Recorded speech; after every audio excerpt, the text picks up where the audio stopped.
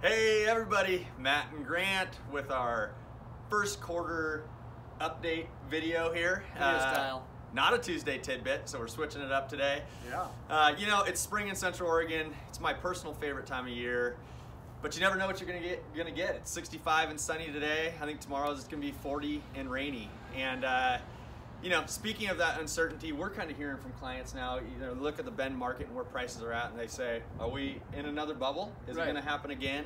Um, and prices are high. We're at historic highs right now, but just the underlying economy and factors factors contributing to those prices, we feel are much more healthy, obviously, than than we were at pre bubble or pre recession back in 2006, 2007. For sure.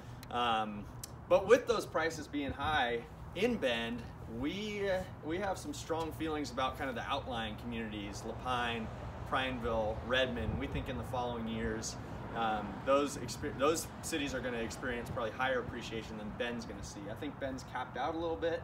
We'll see what happens when interest rates raise. But Right. Well, you know, we've seen the the first quarter of this year was a little historic on the trend setting side of things, with Redmond actually having more building permits than Bend over this first quarter. Uh, going back at least as far as we can see through 2004 and 5, that's never happened, and likely probably never happened before. Yeah. So that's an interesting thing to keep track of, and you know, looking at builders and where they're going and where buyers are going. Matt and I are actually really excited to announce that we're partnering with a builder here uh, locally that's building. Uh, single family project down in La Pine and some townhomes in Redmond, and we're continuing to scout for land for them to build to build more in the future. So, you know, we see our business going that way a little bit too. But that's not to say that Bend isn't still Bend isn't great. I mean, the the new trend is kind of the old trend. Prices have gone up. We've seen uh, as an industry, we've seen inventory and number of sales go down slightly first quarter, but volumes up. And and as Matt said, that's because our median home prices continue to go up here in Bend. It's supply and demand, and we still have California, Seattle, and Portland as our major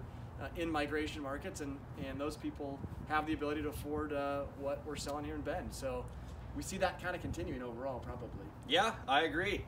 And on a Robinson Ludwick basis, we got Lil Blue out in full force. She made her first uh, spring appearance at the Ducks Unlimited auction here two nights ago.